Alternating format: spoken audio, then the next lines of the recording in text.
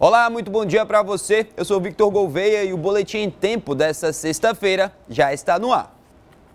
Olha só, a Praia da Ponta Negra recebeu poucos banhistas nesse feriado, um reflexo da indefinição sobre a interdição do local. O Ministério Público recomendou o fechamento, mas a Prefeitura diz não haver necessidade e que a vazante não trouxe riscos para quem frequenta a praia.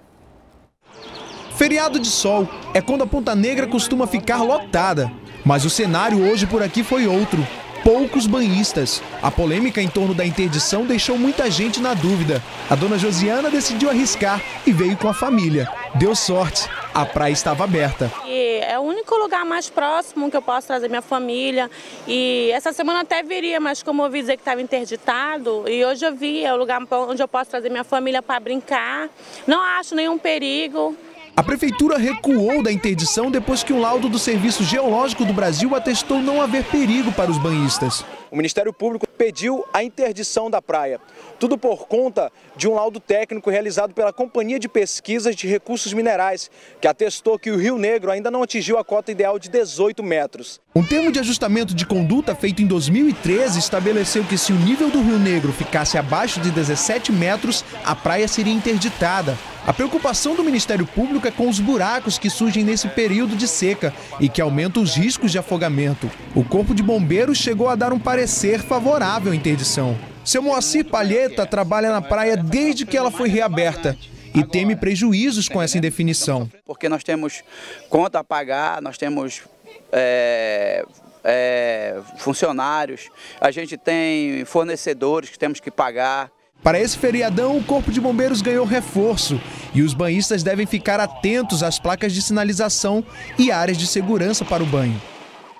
Uma grávida de nove meses ficou ferida em um acidente de trânsito no São Jorge, zona oeste da capital. Foi por volta das 4 horas da tarde desta quinta-feira. A motorista dessa caminhonete seguia na Avenida Coronel Teixeira, conhecida como Estrada da Ponta Negra, quando entrou na contramão e atingiu dois carros. Em um dos veículos estava a mulher grávida, de 22 anos, que foi socorrida e levada para o hospital 28 de agosto. Ela passa bem. E na manhã de hoje, dois outros acidentes graves foram registrados. O primeiro aconteceu na Avenida Nossa Senhora da Conceição, no bairro Cidade de Deus, zona norte da capital. Um ônibus do transporte coletivo e um veículo de passeio colidiram. O condutor do carro ficou preso nas ferragens. A vítima apresentava sinais de embriaguez e estava praticando racha, segundo informações da polícia. A equipe do Corpo de Bombeiros e do Serviço de Atendimento Móvel de Urgência, o SAMU, atenderam a ocorrência e ele foi encaminhado para o pronto-socorro João Lúcio. E ainda pela manhã, dois veículos colidiram na Avenida Constantino Neri, embaixo do viaduto próximo ao bairro, ao bairro Presidente Vargas, zona sul de Manaus. A colisão foi entre um carro modelo Gol vermelho que era conduzido por um motorista de aplicativo, e um veículo de passeio Onix branco. De acordo com o motorista de aplicativo, ele trafegava sentido centro-bairro quando o motorista do Onix avançou o sinal vermelho em alta velocidade. Apesar da gravidade do acidente, apenas danos materiais foram registrados. A CEAP fez uma revista na UPP ontem e apreendeu materiais que poderiam ser usados em rebeliões e fugas. Marquinhos Pereira traz as informações para a gente. Isso mesmo, durante a revista, na unidade do Puraquequara, foram encontrados cinco facas artesanais e um facão confeccionados aí pelos próprios detentos, além de martelos e barras de ferro que, segundo a Secretaria de Administração Penitenciária, poderiam ser usados em uma fuga. De janeiro a outubro, 93 revistas foram realizadas no sistema prisional do Estado. E quanto mais perto do final do ano, maior a preocupação. As ações vão ser intensificadas para evitar o que aconteceu no Compage na virada de 2016 para 2017, quando, durante a rebelião, 56 detentos foram mortos. Marquilze Pereira para o Boletim Tempo. Obrigado, Marquinhos. E agora vamos para o interior. Em Parintins, parte do porto que fica na orla da cidade ameaça desabar e as obras emergenciais não vão ser feitas. Elas custariam 10 milhões de reais e a prefeitura diz não ter esse dinheiro. Parintins perdeu o recurso por estar com pendências com o governo federal. O dinheiro foi liberado a partir de uma emenda do senador Omar Aziz e seria utilizado para a construção de um muro de contenção na orla do município. O prefeito Frank Bigacia disse que o município está tentando reaver o recurso. Eu recebi um, um, comunicado do gabinete Omar de que o Ministério das Cidades né, entendeu de que é, não se enquadrou dentro das normas do Ministério essa verba. Portanto, a princípio está suspensa.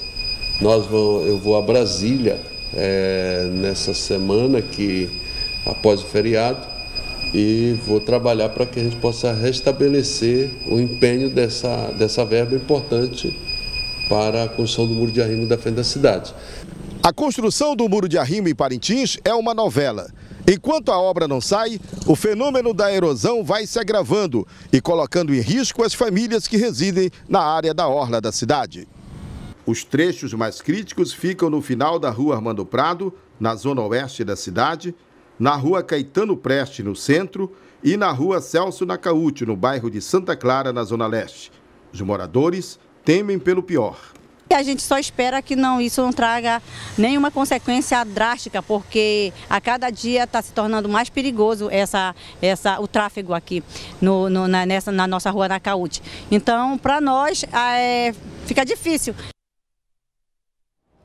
A Justiça liberou a realização do pagamento da taxa que os pais de alunos dos colégios da PM faziam à Associação de Pais, Mestres e Comunitários. Os pais de alunos matriculados chegaram a realizar uma manifestação em apoio ao pagamento da taxa que estava proibida há quase um ano. Mas agora, a Justiça entendeu que o dinheiro é utilizado para melhorar a qualidade do ensino nessas escolas. A Justiça também entendeu que o acesso aos colégios da PM deve ser feito de maneira igualitária para todas as pessoas, através do site de matrículas da SEDUC.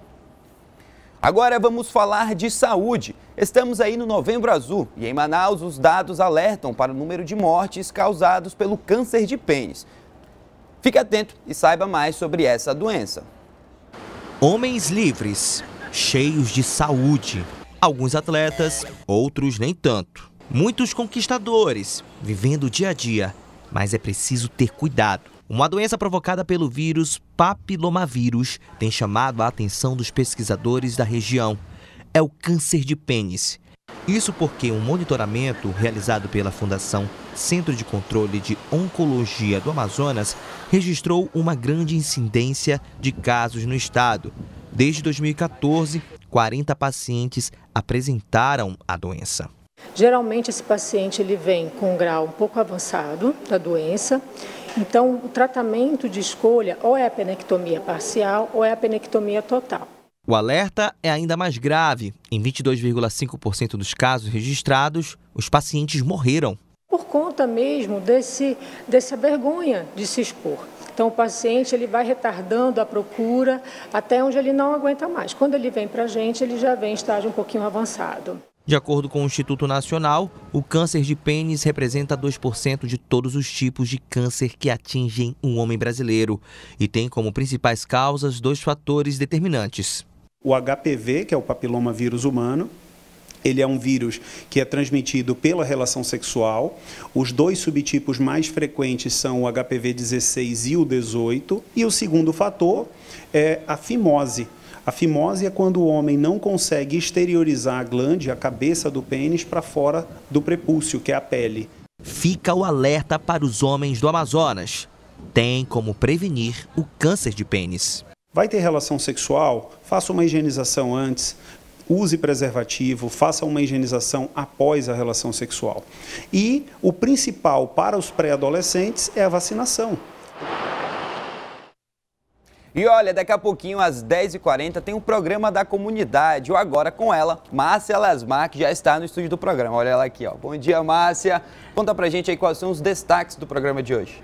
Tudo bem, Vitor? Um ótimo dia para todo mundo ligado aqui no nosso boletim. Você que está do outro lado, fica ligado. Daqui a pouquinho o teu programa da comunidade começa às 10h50 e a gente vai trazer hoje que três homens foram presos no Nova Conquista com drogas. Mais um trabalho da ROCAN, Rondas Ostensivas Cândido Mariano, trabalho da Polícia Militar na prisão e no combate ao tráfico de drogas. É destaque que a gente vai trazer para você que acompanha a programação da TV em Tempo e que está ligado aqui no nosso boletim e daqui a pouquinho vai ficar ligado no Agora. Vamos trazer denúncia da comunidade que vem lá do bairro Japim. Moradores lá do Japim, na Zona Sul, reclamam de uma lixeira viciada.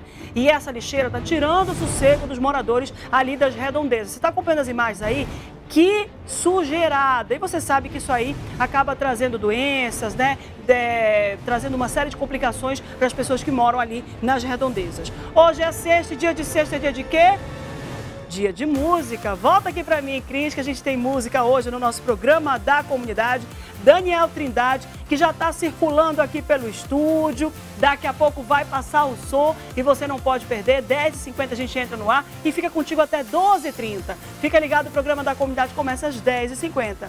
Vitor Gouveia, volto contigo. Obrigado, Marcelo Asmar. Bom programa para você hoje. Obrigada, Vitor. Bom dia para você. E olha, a gente fica por aqui. Não esqueça de nos acompanhar aí pelas nossas redes sociais, lá no Instagram, arroba TV em Tempo Online. Ou se preferir, fale com a gente através do nosso WhatsApp. O número é 99207 0090. Um ótimo e um excelente fim de semana para você. A gente volta a se encontrar na segunda-feira. Até lá.